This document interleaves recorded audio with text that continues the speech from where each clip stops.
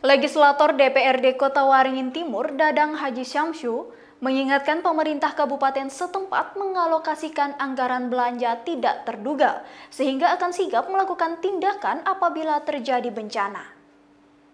Menurut Dadang, ketersediaan anggaran untuk belanja tidak terduga sangat penting bagi daerah rawan bencana, seperti Kota Waringin Timur. Alokasi anggarannya juga diharapkan memadai agar benar-benar dapat menyelesaikan masalah yang sedang dihadapi. Birokrasi dalam penggunaan anggaran belanja tidak terduga juga diharapkan tidak dipersulit. Tujuannya agar penyaluran bantuan kepada korban bencana bisa secepatnya dibagikan karena sangat dibutuhkan bagi masyarakat.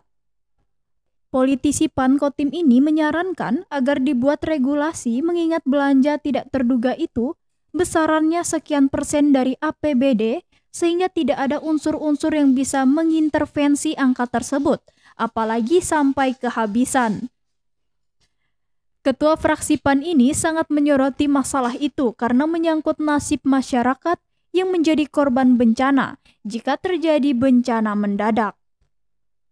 Hal itu dinilai penting untuk dibahas secara serius karena Kota Waringin Timur termasuk daerah rawan bencana khususnya banjir yang sering terjadi saat curah hujan tinggi.